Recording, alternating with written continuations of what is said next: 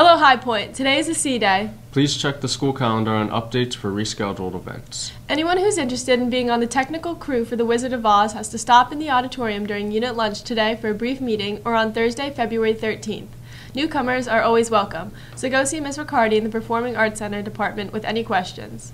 Stop down and visit Pride's Candygram table during unit lunch. Candygrams are available all week. Enter the I Can Be Anything I Want to Be alcohol free contest. Make a poster, write an essay, or create a video using this phrase. Stop down and guidance to pick an entry. Today's lunch Philly cheesesteak hero with peppers and onions and potato wedges. Today's birthdays are Olivia Westling and Hannah Berry. This is Joe. And Leia. Have a great day, Wildcats.